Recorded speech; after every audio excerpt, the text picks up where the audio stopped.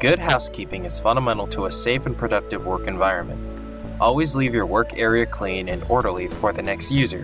This video will cover the correct ways to clean the equipment and different instruments in the laboratory, as well as the bench space around them. This includes all instrumentation from the LC/MS or the ICP-MS to analytical balances, pH meter, AQ2, TOC, and IC.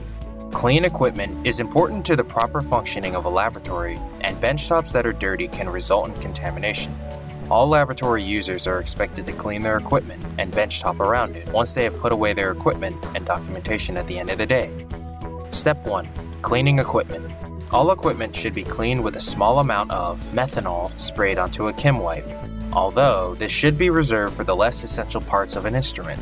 Never clean inlets, probes, or other sensitive parts of an instrument or piece of equipment in this way. Instead, refer to the manual for more specific instructions.